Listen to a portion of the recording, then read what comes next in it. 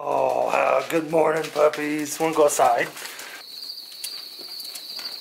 Yo, yo, yo! So, today, guys, today's video is a little bit different. I've been bringing you guys a bunch of teal hunting videos. I hope you guys are enjoying them. From the views, seems like you guys certainly are. I wanted to let you guys know I have a fire, fire, fire teal video on the way. It should be up Saturday or Sunday, so be looking out for it. You guys are absolutely going to love it. Oh, but guys, like I said, today's video is a little bit different, and this one is near and dear to me, and it should be near and dear to each and every one of you being waterfowl hunters. Oh, welcome back to the Fowl Friday old studio. So uh, today, guys, like I said, it's going to be a little more serious of a video. Uh, this is something that over the years of hunting, I have learned that it's way more important and it, and it deserves a lot more attention and credit than we give it. This is a sport that we all love to get out on the weekends and enjoy. Um, not only us, but other other people as well. So, as most of you guys know and do yourself, uh, we usually don't go hunting by ourselves. It's usually a group of guys that goes duck or goose hunting. And that being said, at any time, you and your weapon, me and my weapon, can put me, but more importantly, someone else being, you know, someone's dad, my brother, my best friend, somebody's husband, somebody's wife, I can put their life in danger at the snap of a finger. And why I'm covering this is because this is a hobby. This is a sport, a hobby that we all love and enjoy, and that's and we need to keep it that way.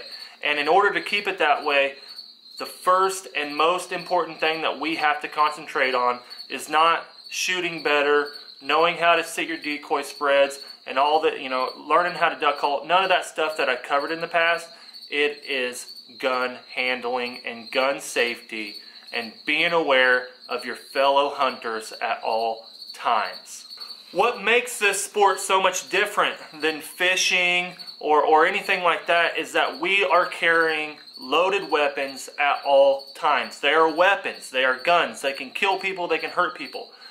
What, what made me bring this up is because I know I've touched on, you know, how to shoot better and all that like I just stated, but this is something that all you guys need to take seriously right out of the gate. Gun handling and being aware, being conscious of your gun being on safety, especially why it's loaded, obviously, in the blind, shoulder to shoulder to your buddies, is the most important and the first thing that you all should get good at and be conscious about at all times.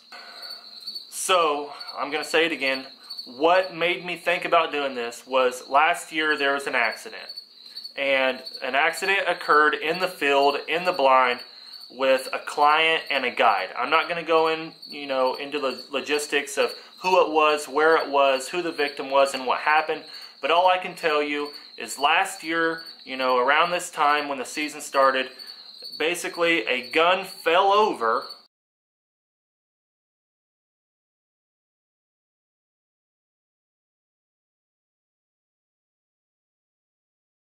in the blind and ended up shooting a guide.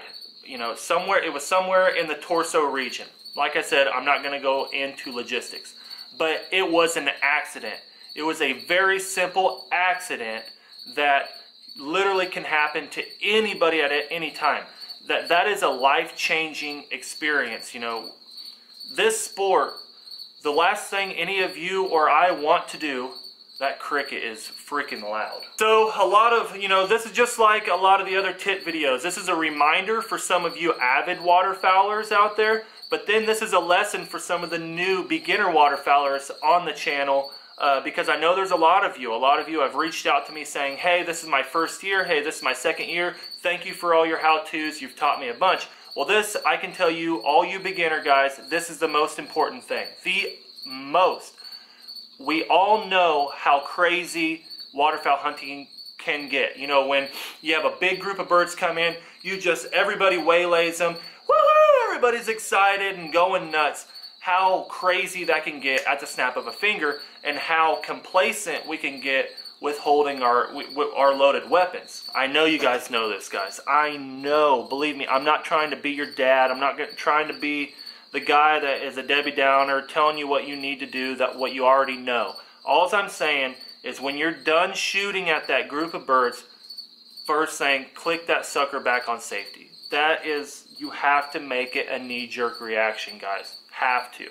Because when everybody runs out of the blind to go pick up birds, what do you do? You sit your gun down, you lean it up against a tree, a blind, or something, and at any time that gun can fall over and go off. You know, crazy stuff can happen at any time. And guys, that's what happened last year uh, in that accident I told you about. No one planned that. I'm sure. Uh, I'm sure the person feels extremely guilty about it, which it was an accident. I'm sure it was an accident. If, if you're just starting hunting, I want you guys to really understand being a good hunter, you want to label yourself a good hunter, you want to become a good hunter, it starts with gun safety. Nobody wants to go and put their life at danger going with somebody to hunt that they can't trust. You should be able to trust all the buddies that you hunt with as well as they should trust you. We all have families, we all have children, we all have siblings, brothers, parents that don't want to see anything happen to us and we dang sure don't want to harm anybody's well-being. So please guys, when you're done shooting, throw that gun on safety don't click that gun off safety until you're ready to shoot. I know that you guys know this, but again, like I've said, this is just a reminder because I would absolutely hate any of you guys, any of my viewers of this channel, getting hurt in an accident. And like I said, this is the reason why I'm doing this video. I know, I know it's a monotonous video. I know this is something that you guys know, but it's just a reminder. That, that's all this is. It's just a reminder coming from me, from the heart. This is from the heart, guys. I can't, there's not one other subject about hunting that I could be more passionate about. I have children, I have a wife, I have a house to support, and by God, I want to come back to my family every time after the hunt to hug and kiss them, just like you guys do. Oh, but I don't have much to add to that, guys. Uh, I was going to make this short and simple, straight to the point and so it wouldn't be long, lengthy, and boring. I'm trying to uh, keep the hunting coming. I think I've already put out three hunting vids or three teal videos already this season. There's two more coming. One of them is re-freaking ridiculous and you guys are gonna love it. Like I said, if you guys haven't yet, follow me on Instagram. It's my main social media that I manage the most, so follow me here. For all you guys wanting to be on Pro Staff, I've been getting a lot of messages. We still have it open. We are still accepting Pro Staff applications. We've handed out, you know, a good amount to you guys. I know there's a, I don't have the exact number what we've handed out Pro Staff so far, but you guys have been kicking butt for us and I appreciate it. If you want to be on the Pro Staff and you haven't emailed yet, email us here, shoot us an email, we'll email you back, we'll get you on the Pro Staff, and uh, yeah, we'll all have fun together. We actually just came out with our Pro Staff DUX shirt. The link will be in the description down below. Go check it out. I don't have one with me yet. They literally just hit the website and I haven't got them to my door yet. But when I do have one at my door, I will certainly show it to you guys in a video right off the get-go. So be looking out for that. But you can go check it out on the website. Link in description. Got our new hats ready.